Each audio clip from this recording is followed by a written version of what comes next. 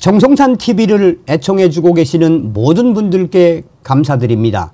이번 시간에는 프랑스 파리에서 전작년 충격 4번 터졌으며 결국 프랑스 경찰 진압에 나서 전작년 파리에서 이런 만행을 이번 소식의 본질이 과연 무엇이겠습니까? 그동안 전국 장애인 차별연대 전작년이 서울 시민들의 출퇴근 시간에 강력한 시위를 벌여 얼마나 질타를 받았습니까?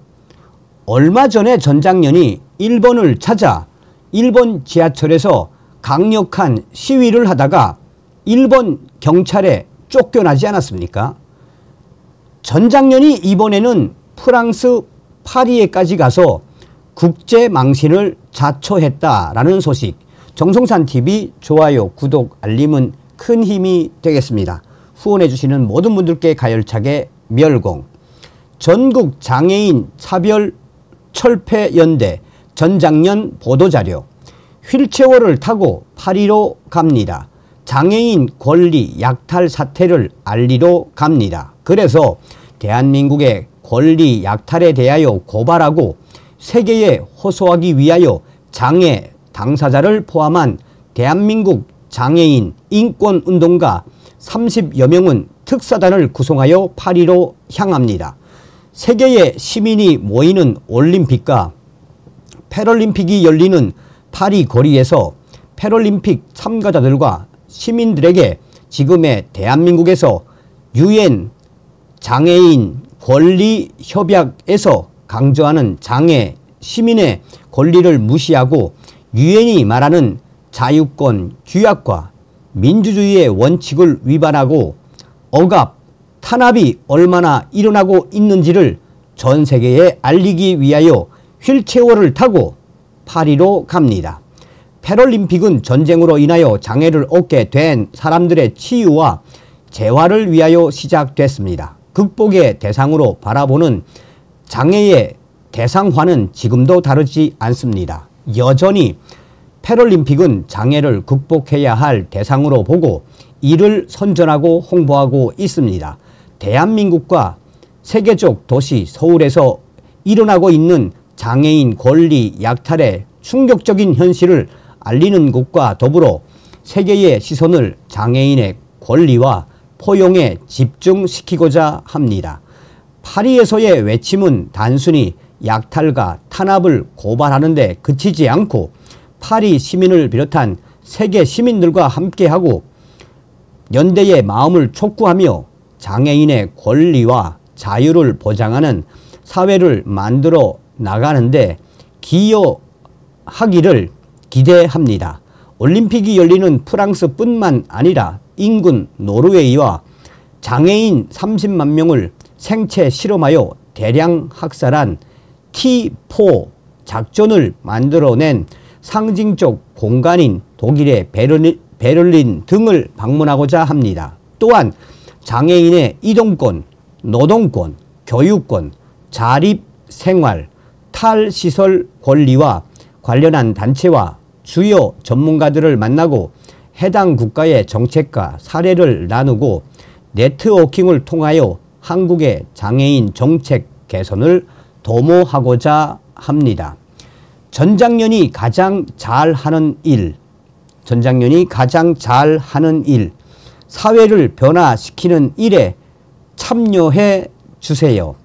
이번 캠페인을 통하여 우리가 전 세계에 알리고자 하는 대한민국의 장애인 권리 탄압 현실을 드러내기 위하여 1억 원 이상의 자금이 필요합니다. 연대와 지지를 통하여 기부해 주신 금액으로 우리의 메시지를 전 세계에 전달할 수 있도록 도와주시기를 호소합니다. 이번 캠페인은 단순히 파리 패럴림픽 특사단의 성과를 넘어 함께 참여하고 지지해 주신 모든 분들과 함께 이루어지는 것입니다. 함께하는 많은 분을 통하여 우리의 활동이 고립되지 않고 장애인 권리를 보장하기 위하여 다양한 방식으로 협력할 수 있는 동료 시민을 만들고자 합니다. 함께 해 주십시오. 그리고 계좌번호와 모금 액수를 소상하게 밝혔습니다.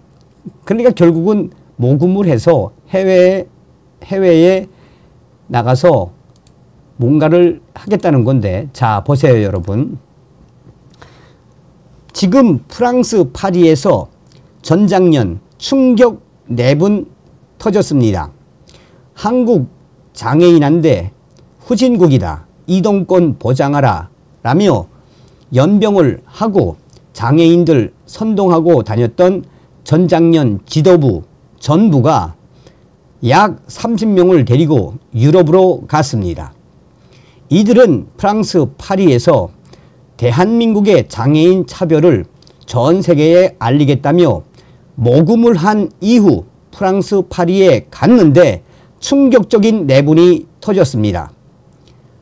독일, 프랑스 가 보니까 한국이 훨씬 더 좋다는 것을 그들 스스로가 깨우쳤습니다. 프랑스는 지하철에 엘리베이터 4개가 있는데 하나도 작동 안 했습니다. 그러면서 저희들끼리 수근수근 대며 이 프랑스 파리 우리 한국이 훨씬 더 좋네라고 내분이 터진 것입니다. 한국 장애인한테 후진국이고 이동권도 보장 안 해준다며 그렇게 선동을 했는데 유럽을, 유럽을 가보니 유럽은 더 개판이었던 것입니다. 같이 간 장애인들 전부가 한국이 더 좋다고 말하면서 내분이 일어났습니다. 전작년 지도부 X 같은 것들이 무슨 소리냐 그런 소리 하면 오세훈이 좋아한다 그런 소리 하지 말라고 말을 막고 있습니다. 전작년이 프랑스 파리에 갔다가 한마디로 쇼킹을 받았으며 결국은 충격 내분의 본질은 프랑스 파리 유럽이 대한민국보다 더 장애인들에 대한 시설들이 없다는 것을 뼈저리게 느꼈다는 것이며 스스로 내분이 터졌는데 전작년 핵심 우두머리들은 절대 그런 말, 그런 말 하지 말라라며 서로가 서로에게 질타를 보내고 있는 중입니다. 자, 여러분, 직접 여러분들께서 한번 보십시오. 야, 아무리 그래도, 여러분, 아무리 그래도 예의가 있고 도의가 있고 또 여러 가지 상황에서 뭡니까? 그 나라에 대한 정서도 좀 봐주면서 해야 되는 거 아닙니까? 여러분들이 보시면 깜짝 놀라시게 되는 게 바로 이 부분입니다. 여러분, 가보신 분들은 아시겠습니다만, 가보신 분들은 아시겠습니다만, 이 루브르, 프랑스의 루브르 박물관이 어떤 박물관입니까? 보세요, 여러분. 자, 일간 베스트 유저가 이걸 소상하게 정리를 했습니다. 프랑스 경찰들이 전작년 감, 감금시킨 이유. 지금 여러분들 이 루브르 박물관에서 이렇게 장애인이라고 시위를 할 수 있지요. 그런데 이 루브르 박물관이 어떤 박물관입니까? 전 세계적인 명소 아닙니까? 이렇게 바닥에다 전단지 뿌려놓고 바닥에 누워서 이거는 시위라기보다는 일종의 민폐지요, 민폐. 안 그렇습니까? 아무리 전장년이 저렇게 본인들 스스로의 권리와 한국에서의 장애인 차별에 대해서 시위를 하는 건 좋은데 이렇게까지 프랑스의 세계적인 박물관을 저렇게 더럽히는 게 과연 정당한 것입니까? 와, 그리고 오세훈 시장에 대한 여러 가지 안 좋은 전단지를 마구마구 뿌려대는 전장년. 한마디로 한국인들이 평생 한번 가볼까 말까 한 루브르 박물관 초토화, 바닥에 강력 접착, 스티커 도배, 관광객 다 쫓아버렸음. 그뿐이겠습니까? 프랑스 지하철에서도 이렇게 오세훈과 관련된 피켓을 들고 시위를 하는 게 이게 도의적으로 맞다고 생각하십니까, 여러분?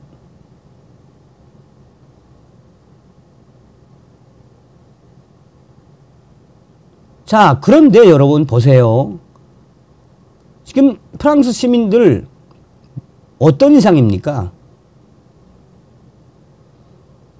그런데 강력, 강력 접착제가 붙어 있는 이 전단지를 길거리에 막, 부, 막 붙여가는 거예요, 저렇게. 이렇게 띄, 띄워가지고 막 붙여가는 거예요. 이렇게 도로에다가 이거 보세요. 프랑스 이 도로 벽에다가 저렇게 막 오세훈 시장을 폄훼하면서 부착을 하고 자 그런데 여러분 이 보고만 있을 경찰이 아니죠.